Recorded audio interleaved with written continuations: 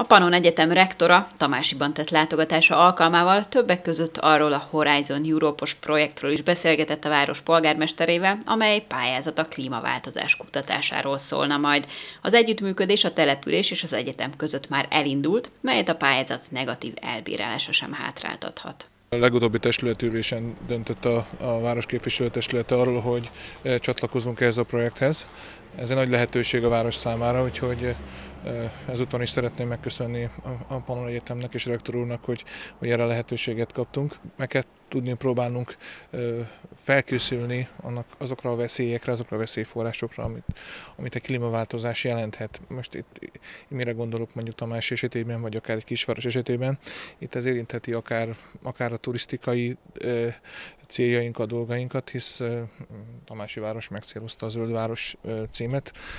17 hektár zöld közterületünk van, nem mindegy, hogy ennek mi lesz a sorsa, itt hogyan, hogyan változik a természeti környezet a következő időszakban.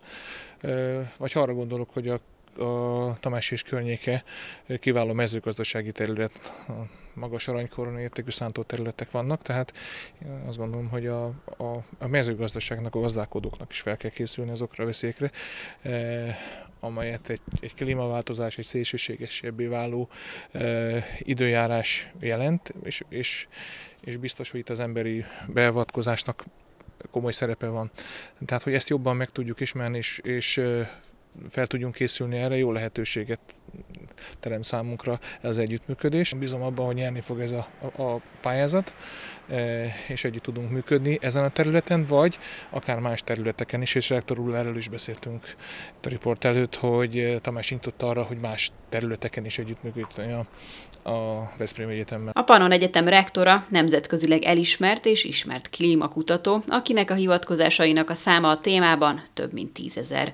A Horizon Európos projekt kapcsán kiemelte, hogy milyen fontos ez a kutatómunka, aminek kapcsán aztán tudatosan lehet készülni a klímaváltozás okozta természeti tényezőkre. Ez egy Európai Uniós pályázat, amit reméljük, hogy támogatást fog nyerni, de mindenképpen szeretnénk Tamási önkormányzatával, illetve a régióval együttműködni a klímaváltozás tudatosítása területén. Tehát fő célunk az, hogy a, a, az embereket bevonjuk a, a, azokba a feladatokba, hogy hogyan lehet a klímaváltozáshoz alkalmazkodni. Ugye a klímaváltozás az sajnos az életünk minden területét érinti, és hát ezt már ugyan sokan megtapasztalhatjuk, hogy ez elég komoly kihívásokat jelent.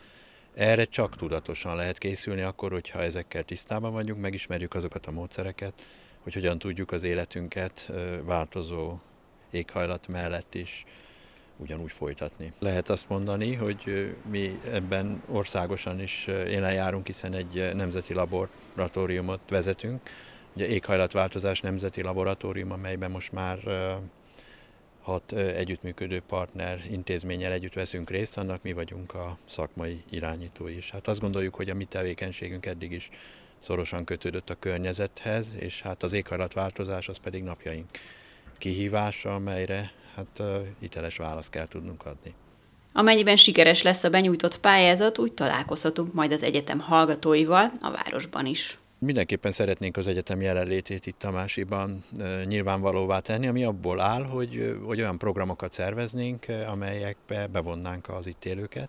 Ez lehet ismeretterjesztő előadás, lehetnek akár középiskolásoknak vagy általános iskolásoknak szóló vetélkedők, vagy olyan napok, nyílt napok, amelyeken mondjuk ezeket a témákat körül tudjuk járni és tudjuk közvetíteni.